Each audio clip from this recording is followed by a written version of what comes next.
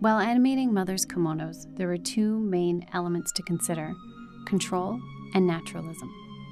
The kimono was actually weighted down using flexible cast metal powders. Magnets were placed in the bottom of the kimono in order to secure it to the floor, and animatable wires used in the edges of her hems and her cuffs in order to control the performances.